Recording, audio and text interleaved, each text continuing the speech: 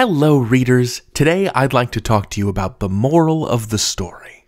Which story? Well, we'll, we'll get to that. First, what is a moral? It's a lesson, usually about how you're supposed to treat other people. I think we can say that if a story has a moral, it's trying to teach you how to be a good person. Aesop's fables are full of these. There's the story of the tortoise and the hare, which I'll tell you very quickly if you're unfamiliar. The slow moving tortoise and the speedy hare have a foot race, and the hare is so sure that she'll beat the tortoise that she stops to take a nap during the race. Meanwhile, the tortoise slowly and steadily continues onwards and crosses the finish line while the hare is sleeping. That's confetti as the tortoise crosses the finish line. The moral of the story is slow and steady wins the race. You can beat an overconfident person even if they're more talented than you if you try really hard and take it slow but steady. But it's not just old stories from ancient Greece that have morals. The stories around us are full of lessons about how to treat one another. So, how do you figure out what the moral of a story is? Good question.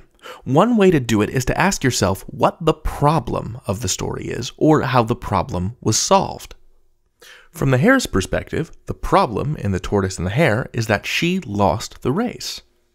What could she have done to avoid that happening? Well, she probably shouldn't have stopped to take a nap. From the tortoise's perspective, the problem is solved. He won the race. And how did he do that? By maintaining a slow, steady pace for the whole race. And then you take that lesson that the characters learned and you say, okay, so this is true for everyone.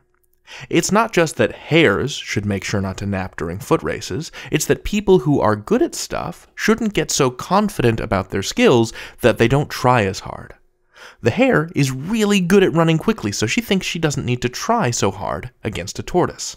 Because that is what morals do. They are lessons in stories that we can apply to our lives. What's true for the hare and what's true for the tortoise are true for you and me. Because those stories were invented to teach people stories, not just tortoises and hares. You can learn anything. David out.